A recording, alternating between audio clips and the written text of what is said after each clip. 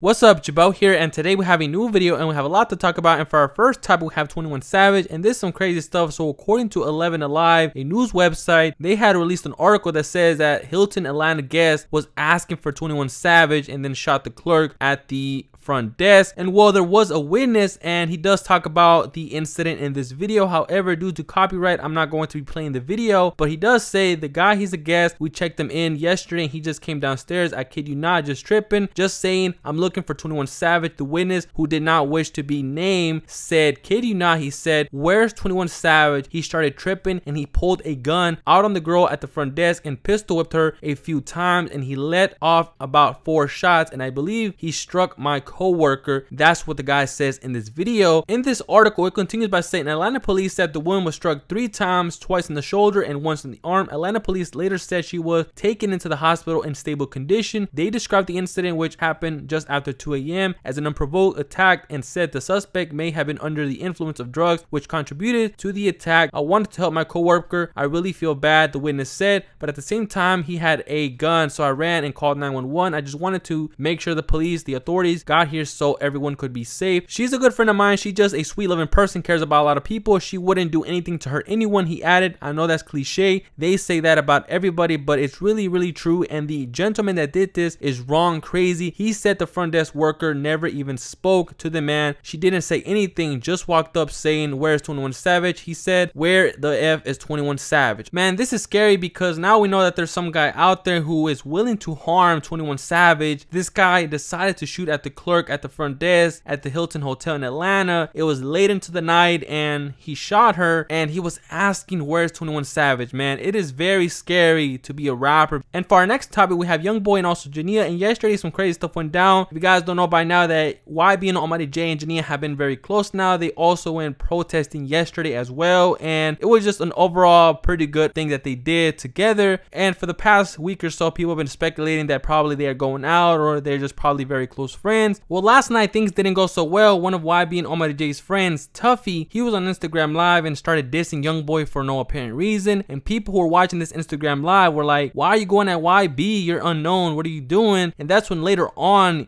Jania checked them for dissing Young Boy. Fake page. Fuck Young Boy. That nigga pussy. Bro, they screen recording man, this shit, man. Dick. They don't give a fuck what they we talking about. We ain't Lame, bro. We ain't speaking on no other niggas. Man, I don't even live in Houston, dumbass nigga. Bro. And you on a fake page, man. I ain't worried about none of that goofy ass shit. Niggas really living like that. Tell your partner go dig his partner up. Lame man, nigga. Oh, he said Jay and Tiffany not even been like that. And real like they in Houston would Rap-A-Lot protection. I don't even run behind Rap-A-Lot, nigga. Boy, what the fuck? Boy, you not you got YB fucked up. And I fuck YB. Mm, and whoever rocking with him. Use my page for real. See Put that on his partners. Who?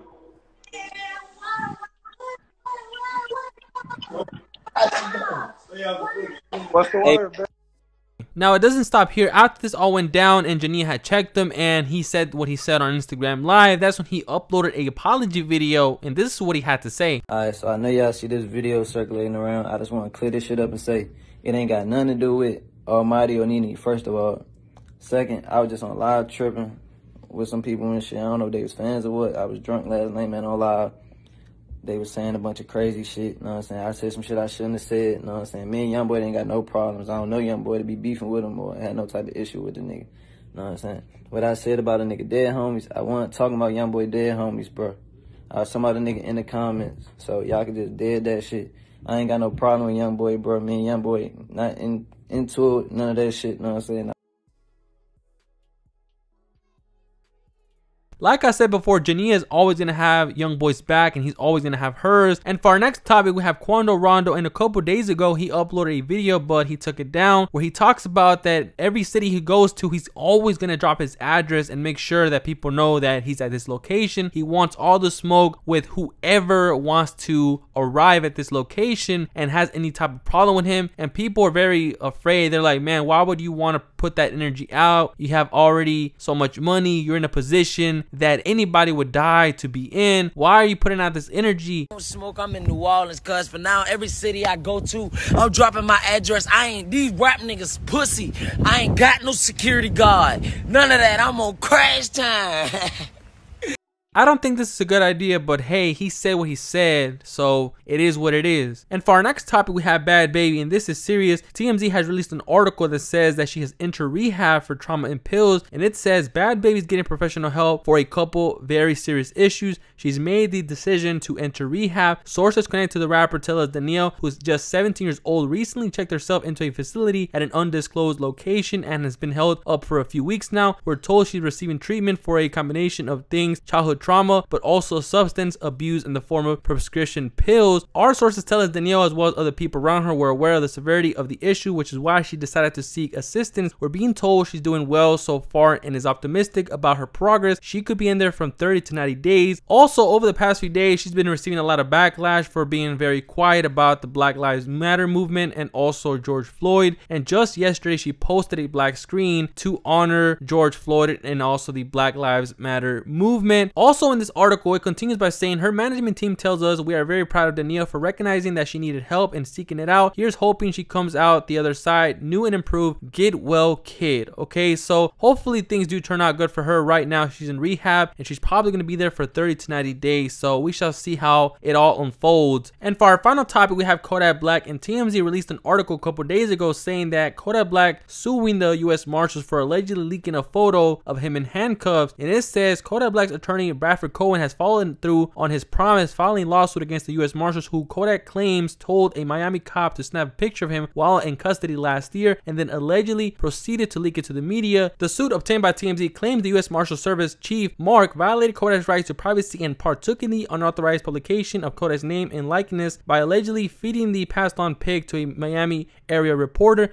which found its way online. Kodak says he suffered embarrassment, humiliation, emotionalness, distress, and loss of income. And apparently, this is the picture that we're talking about, as you guys can see right here on the screen. It continues by saying the docs also have a pretty strong opening graph to characterize Kodak's predicament. They quote an opinion given by the justice in a Supreme Court case, which touches on the rights of inmates while comparing them to wild creature in cages. Part of the judge quote reads, inmates in jails, prisons, or mental institutions retain certain fundamental rights of privacy. They are not like animals in a zoo to be filmed and photographed at will by the public or media reporters. So overall, Kodak Black is suing the U.S. Marshals for allegedly leaking a picture of him in handcuffs. Also, there was a picture that leaked like two months ago of Kodak Black, and this is a very recent picture. It was back in like April. But right now, this is what is going on with Kodak Black in the U.S. Marshals. And that is it for this video. Let me know down in the comments what you guys think about these topics. Hit that like button, subscribe to the channel if you are new. Hit that bell to be notified every time I upload a video. But yeah, I'm out.